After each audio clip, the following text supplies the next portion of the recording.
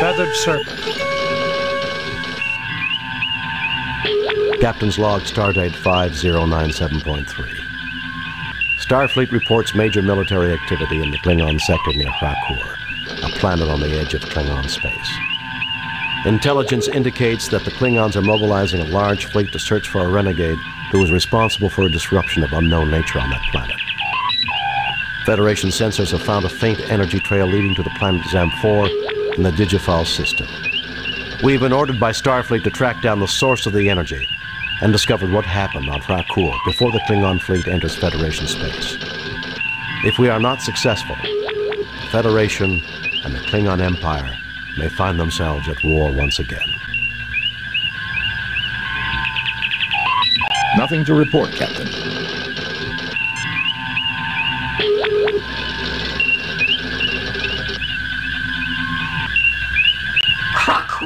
4. A world in Klingon space, which has belonged to the Empire for at least four generations, governed by the Kenka family. The population of Krakur is not known.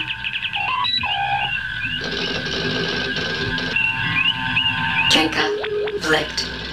A member of the Kenka family, an old Klingonese family of noble origins, the governing family of Krakur. Vlicht is the first Kenka to reach flag rank, and as such, has been posted back away from the frontier. Vlicht has two sons in the service, but nothing is known of his wife or other children. He is believed to be the current commander of the Klurta and one of the most respected commanders in the Klingon fleet. He is said to be an avid fencer. Klingons. A humanoid life form that has used genetic manipulation to stratify their population. Their homeworld is Kling. Klingon's culture is based on the principle of survival of the fittest, either through guile or physical force. Principles of honor are used to prevent the culture from killing itself completely. But these principles are extended outside their species only to non-Klingons who have proved themselves in battle. Negotiations over planets in the disputed area have been slowly advancing, hindered by recent Klingon technological exchanges with the Romulans. The Klingon Empire itself is economically backward and poorly organized, but their military force is extremely formidable. Romulans, a race descended from Vulcan stock, but one that did not reject aggression as the Vulcans did. On a sensor, the two races appear very similar.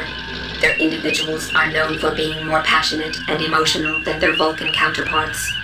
They currently use ships of Klingon design, suggesting to some the Klingons are maintaining them as a client state to antagonize the Federation in a move that circumvents the Organian peace treaty.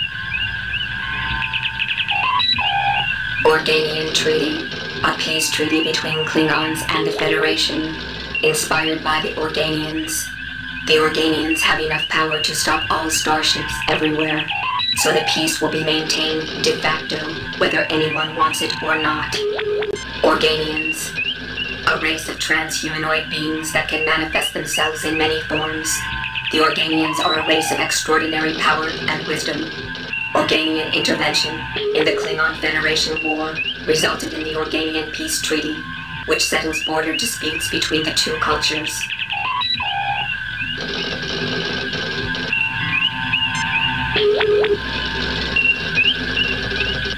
Zam4, the third planet in the Digifal system, a Class M world. C Digifal. Digifal, a system near the Klingon neutral zone. Digifal contains two habitable planets, Digifal 3 and Digifal 4. Digifal 3, also known as Zem4, contains ruins of a civilization that abandoned the planet approximately 20,000 years ago and has been declared a protected world for archaeological reasons.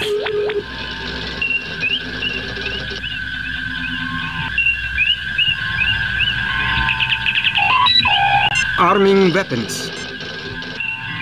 Disarming weapons.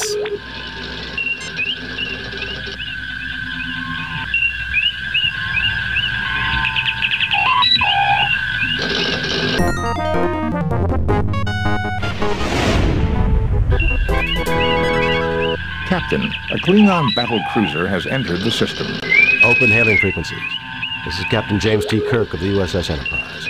Klingon battle cruiser, you are in Federation space. You must leave immediately. I am Commander Taraz of the Nizra. We are in pursuit of a genocidal criminal. We are performing an act of mercy in removing him from your space. Naturally, you will remove your vessel from this system, for your own safety, of course. I think we can take care of ourselves, Taraz, which is more than I can say for you, if the Nizra does not leave Federation space at once. You are in direct violation of the Organian Treaty, mister. If you have a problem, have your fleet commander take it up with them. If a Federation criminal were to pass into Klingon space, you'd be saying the same thing to me. Who do you think you're trying to fool, Taraz? Get your ship out of here now. I think we, you are in direct violation of the Organian Treaty, mister. If you have a problem, have your fleet commander take it up with them. If a Federation criminal were to pass into Klingon space, you'd be saying the same thing to me. If we are not allowed to capture this criminal captain, you may do this for us. We insist that we remain here to monitor the situation, but we will take no action, provided that you can bring him to us in 12 hours. Agreed. Vessels of war are not allowed in Federation space. You will pull back to the Organian neutral zone, and do so immediately. Agreed.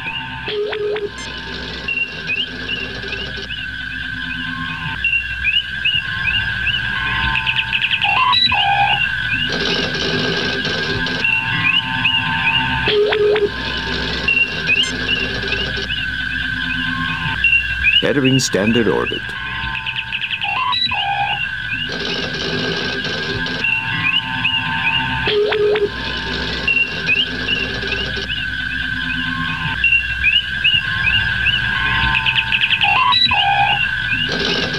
Assemble a landing party.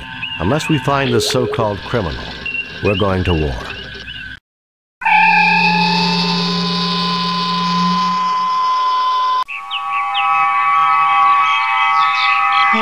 You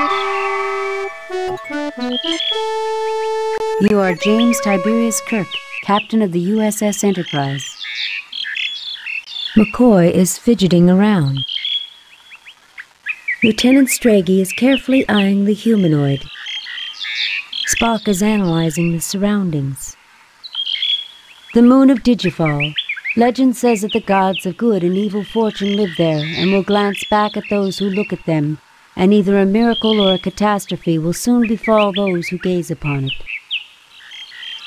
There is a tall, slender, dark haired man looking intently at you. Feral red eyes glare out of the dark at you. Luminescent insects swarm near a large tree. You see dense vegetation in all directions.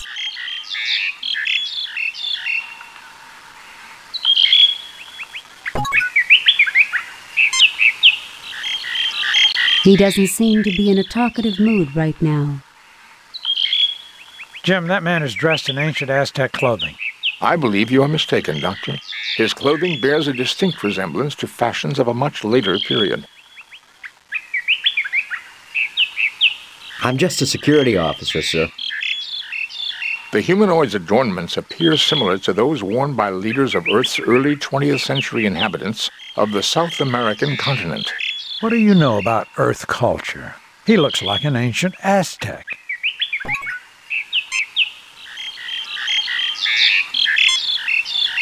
I am picking up strange energy readings from the alien.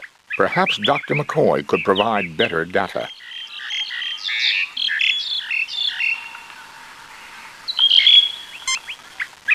He appears human.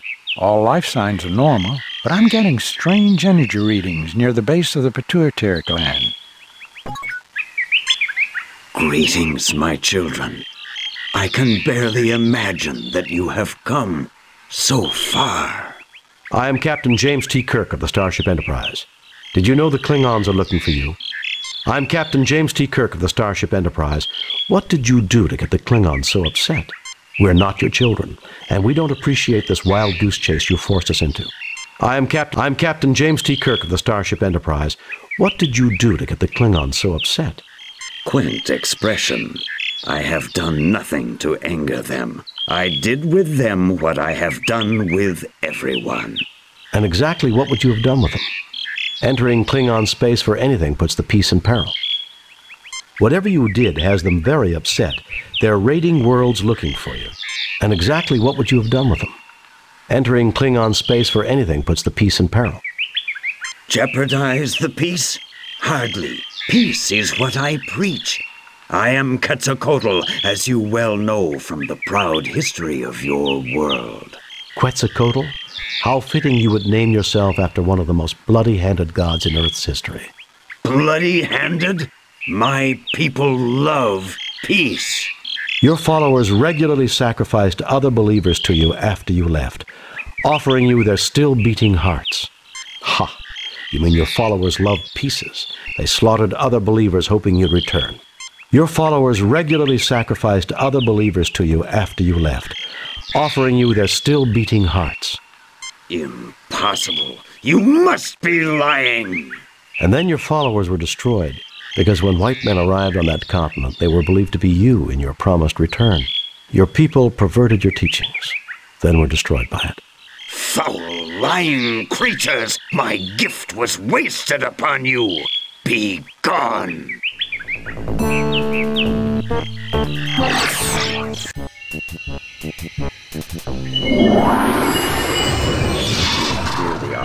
The inheritors of the noble Aztec world. What you have said has greatly disturbed me. You should not lie so. You shall remain here until you have learned the error of angering Quetzalcoatl.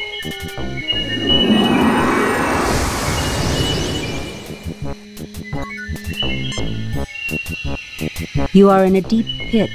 It is a long, hard climb to the top. There is a vine hanging down into the pit.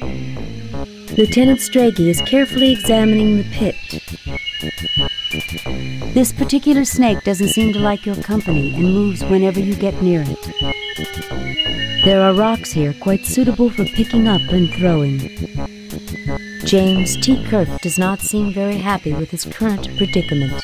Spock is carefully examining the pit. McCoy is examining the floor of the pit. There is a light suspended from above by a chain. He doesn't seem to be in a talkative mood right now. He doesn't seem to. No enemies in sight, but supplies could be a problem if we don't get out. Those vines would be useful to escape if we could reach them. Do I look like a Houdini to you? I'm afraid you're going to have to pull the rabbit out of the hat on this one.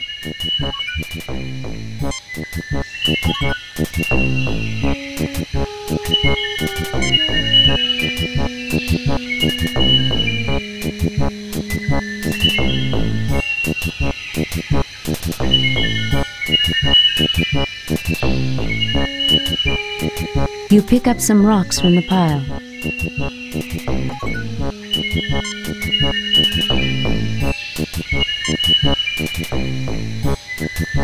Hey, what was that for? Thank you, Captain, but I assure you that I was giving this situation my fullest attention. I'm glad I was taught pain nullification techniques.